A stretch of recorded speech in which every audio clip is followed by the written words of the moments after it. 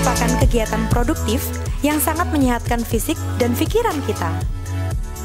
Dengan inovasi, bukan zamannya lagi khawatir berkebun di lahan sempit, karena banyak metode dan cara unik yang bisa kita lakukan untuk membuat kebun sendiri di rumah. Tujuan kegiatan berkebun di rumah saat ini adalah meningkatkan aksesibilitas dan ketahanan pangan keluarga di tengah pandemi corona. Manfaat berkebun adalah kualitas kesegaran yang menjadi nilai lebih karena menanam di rumah sendiri dan langsung dipetik untuk diolah menjadi makanan sehat dan bergizi. Jangan lupa bagikan hasil panen ke tetangga karena gerakan bahagia bersama tetangga itu penting. Selamat berkebun!